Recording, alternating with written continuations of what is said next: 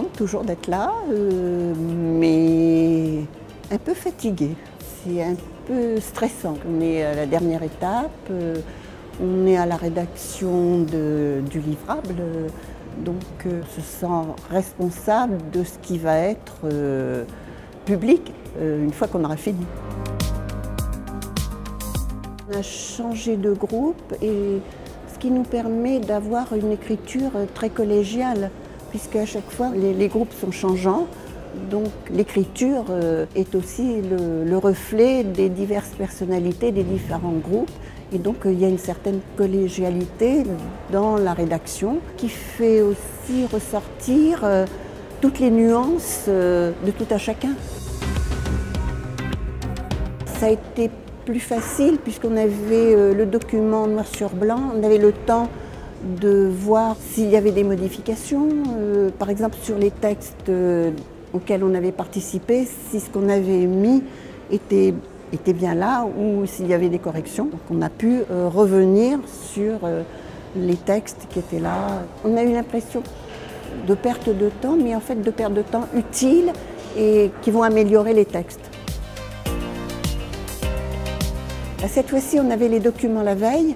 Du point de vue personnel, du point de vue de la, facilité, le fait de les avoir eus hier soir et d'avoir pu les relire et relire avec des notes que j'avais prises, euh, ce matin, j'ai eu moins l'impression d'être pressée euh, et d'avoir le temps de vraiment de, savoir sur quoi je votais.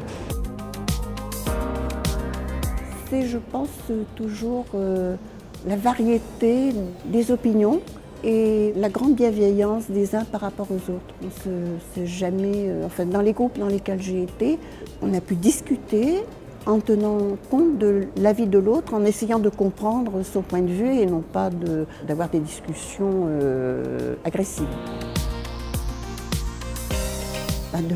Euh, d'avoir fini, d'avoir le, le, livrable en phase terminale euh, et d'avoir peut-être été au bout du chemin.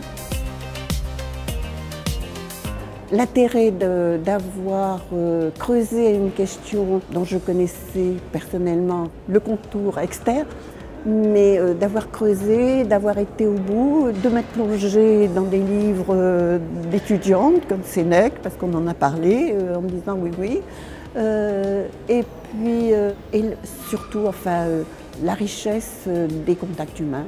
Je pense qu'il y a des, amitiés qui sont liées, qui vont se poursuivre en dehors de la, convention. Donc euh, c'est un enrichissement euh, personnel.